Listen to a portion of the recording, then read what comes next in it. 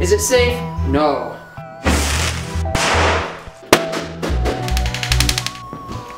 Is it effective? I'm not even sure yet.